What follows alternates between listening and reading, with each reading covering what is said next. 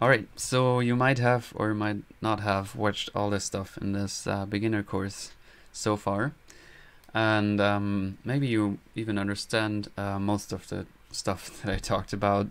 Maybe not. Uh, anyways, like either way, you you now are kind of, since this is almost the beginning of the beginner course, you're kind of at the position of having to do stuff on your own. I mean, there's a lot of other tutorials out there, uh, also of me, but also many other people uh, that you can also watch. But you know, at some point, you're gonna have to do stuff yourself.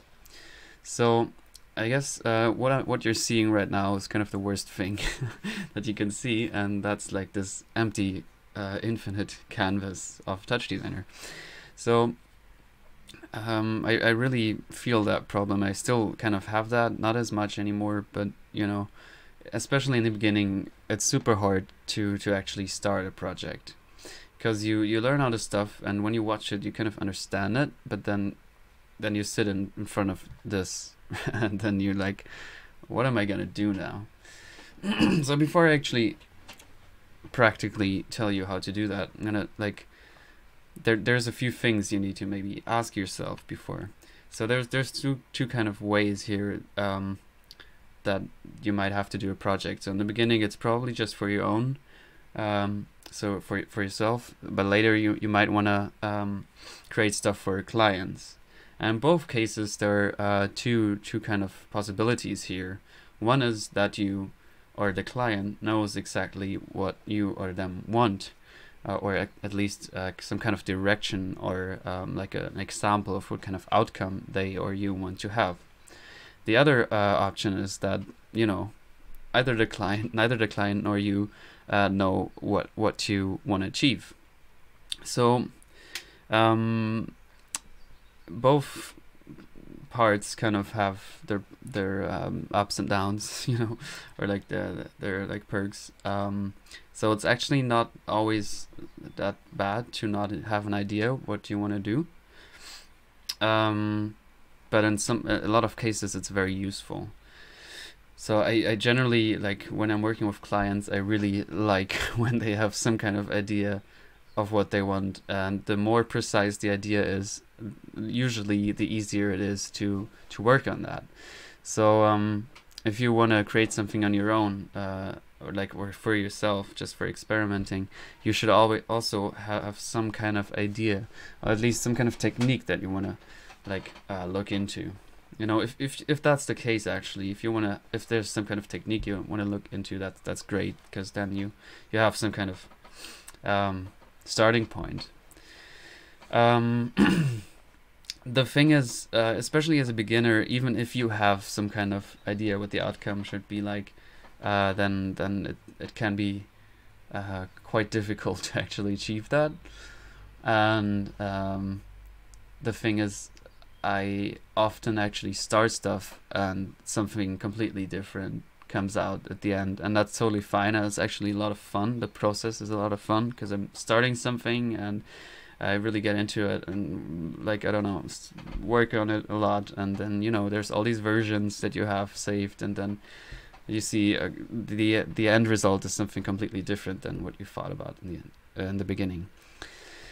Anyway, so this is kind of a rant. what I'm what I'm trying to say here is that there's some some questions you might want to have like ask yourself in the beginning. And that's like uh, the basic questions question of what you uh, like if you want to have a 3d or a 2d scene. So that's already quite a difference in how you approach the project. Because if you want to have a 2d scene then you know you can also use instancing for that. Um, but usually uh, if you want to have a 2d scene you're just going to work in tops because um, it's also like the most efficient way sometimes uh, or most of the time um, but also you know sometimes you, you might want to use instancing for a 2d scene but you're probably not gonna work with like uh, SOPs that much. So you already kind of have an idea of what kind of operator family you're gonna look into. Um, I'm gonna get to that in a second again so the other thing is when you have like a 3D scene then you already know okay I'm, I'm gonna need some kind of render setup I'm gonna work with SOPs in some way and then you need to ask yourself okay am I gonna just work with with SOPs as they are, am I gonna use some kind of shading? So am I gonna use like uh, some kind of map or like cut so like color maps, height maps?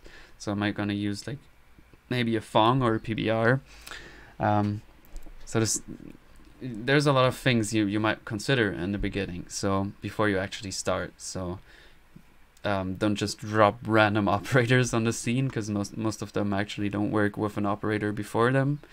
Uh, there's not that many operators that are like uh, you know starting points. So um, yeah, lots of just talking. I'm gonna just show you a bit like how to uh, how to actually just get rid of this empty canvas because once you have something it's a lot easier to to actually keep going. Alright so let's say you want to create some kind of 3d scene. Then um, what I usually start with is a sphere or a grid.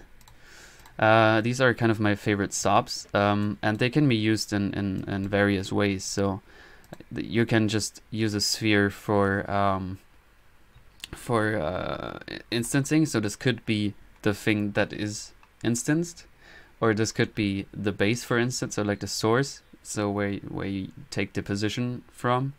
Uh, this could also be uh, just you know just a sphere where you uh, use some some uh, like a height map, so like a Phong on or like a PBR, something like that. or you know you know a combination of all of these. And the same with the grid. So this can be just uh, this can be used for instancing. This can be used as a uh, just a kind of uh, a, a plane where you put on a map and then displace this. And I'm gonna get I'm gonna show that later. Um, just very quickly. Okay so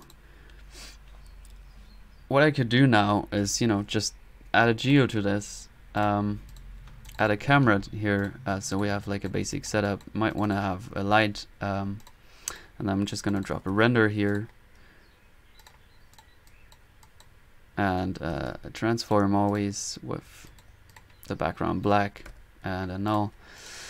And you know that's nothing great but we already have something. So we have like a render setup. We have like a sphere there. Okay cool. So what can we do now? Let's say all right maybe I want to instance this, and so I might want to.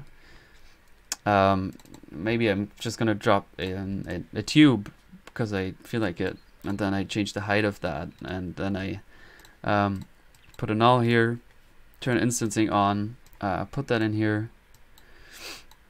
Uh, so I can use that as a default instance of operator. Then I can just use the position data, make the sphere here smaller. So like maybe 0.1. And um, all right, that's already something. I'm gonna turn off these. Um, I'm gonna on the sphere. I'm gonna like I don't know, go down with the rows and columns. So because now I might want to put like a line mat on this, so I can just put that on there.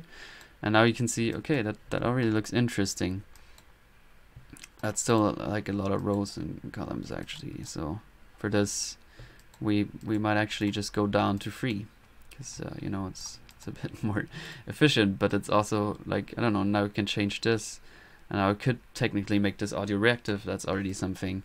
Or um, just increase the the number of rows um, and you know that already looks interesting. That's already something. Now you could go to the to the line um, change the width so it looks a bit cooler. And there you go. Uh, now you could go to to the post processing here. So anything after ren the rendering it's pretty much post processing um, you could use it displace um, just a bit yeah a bit less a bit more there. You could change the UV weight. Again you could make this audio reactive. And um, I don't know you could put like a noise here and I don't know. That's it's something. now you have a network. Now you have something that, in this case, not, but generally you might have completely created on your own, and that's already a great feeling. And now you can do anything with the post processing. You can go crazy with the the instancing and and test some stuff out. Maybe um, change the the scale of this um, of these things. Uh, maybe you don't want to have displacing actually, uh, I don't know. You could change the, you could rotate the camera, you can, um, you know, instead of having a line here, maybe we want to have this like a bit higher resolution. We could now go with a Phong. Maybe get rid of the, the scaling here, it's actually kind of ugly. Um, now we have some wiggly lines that are still running smoothly. Now we could go with some noise maybe here. I'm gonna get back to noise in a second. Um, we can drop that on here as a color map. It looks super ugly. Perfect. Um, maybe we want to make this colorful. I don't know. You know, we have something. and it's something that you can work with now. You could also use uh, the grid instead of the, the tube and that actually looks pretty organic, actually. like looks quite interesting. Um, so you might want to go closer with the camera. You might want to make this these spheres a bit smaller or maybe even bigger because it looks interesting that they're kind of colliding there. And okay, so and what I also always recommend with noise, especially in the SOP world, go down with the harmonics. That's always gonna look more natural. The movement. Don't really like harmonics in the SOP world. Just a small tip there. Um, okay, so that's one way to go. So yeah, that could be something you do. And um, obviously you can take anything. You could you could take a rectangle for these uh, as a base for instances and this looks still awful but you know it's something okay now I'm gonna just uh, I can just I don't know leave this here bypass all of these uh, actually I'm just gonna delete them. And now I'm gonna um, now we're still in front of an empty canvas. So that was like a 3d scene. Now let's say we want to just have like a, just play around with tops. So always a great way, and I usually start with that, is noise. So let's put out down some noise here, and now instead of an empty canvas, we now have lots of possibilities to work from this. So we could like change the resolution of this to whatever we want. Maybe change the period. Uh, we could go to the transform. We could animate this using ABS time dot seconds times like 0.2 maybe and I can't write. There we go. Um, might want to go down with the exponent. Add an edge here. I'm also going to add a transform as always and a null. Uh, let's look at that more closely in the background. So might want to go up with the strength of this. And there we have some wiggly lines, and I'm also going to go down with the harmonics here and with the period. Uh, we, we can change the scale of the Y to like 0.2. Then we have some interesting stuff. And there you go, that's already something with just four operators. And now we could do with some feedback maybe, so I'm just dropping stuff here rather quickly. This is just for you to see that like kind of the workflow. So I'm gonna change this to add, put that on there again, put like a level in here. Change the opacity to like 8. There we go. Also looks interesting. And now I maybe think, and I actually have been at this uh, point quite often, that I just started off with tops and some lovely feedback maybe um, now I might be thinking, okay, I, could use this as a color map or a displacement map. So again, I'm, I'm gonna go into the 3D world and just, whoops, use a grid. I'm gonna make this 0.9 by 1.08, so it's like the same dimensions. I'm gonna add a geo and a camera and render this is always the most fun part, setting this up.